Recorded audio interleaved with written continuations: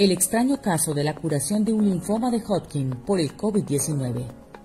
El caso que fue publicado por el British Journal of Hematology reseña la desaparición de este tipo de cáncer en un paciente de 61 años que recibía hemodiálisis por insuficiencia renal luego de haber contraído el COVID-19. En la literatura médica ya se había descrito un caso similar, donde otros tipos de linfoma habían remitido espontáneamente debido al efecto antitumoral de una neumonía infecciosa y de una colitis por Clostridium difficile.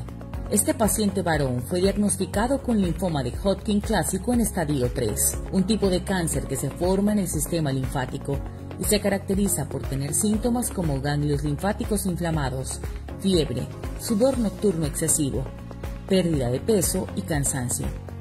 Posteriormente, y debido a una dificultad respiratoria, el paciente ingresó a cuidados médicos, donde dio positivo para SARS-CoV-2 y desarrolló una neumonía a causa del virus.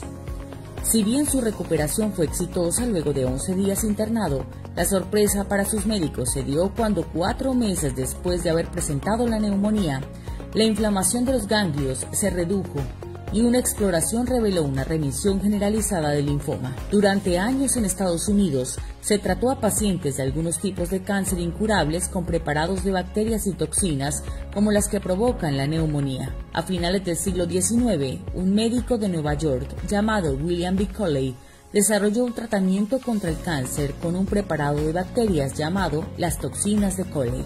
Este caso pone sobre el panorama médico la efectividad de la inmunoterapia en algunos tipos de cáncer y abre el debate frente a la utilización de tratamientos contra el cáncer basados en bacterias como lo es el bacilo calmette guerin o las ya conocidas quimio y radioterapia. Para conocer más casos como este, conéctate con lo más relevante para médicos, pacientes y profesionales de la salud en www.medicinesaludpublica.com.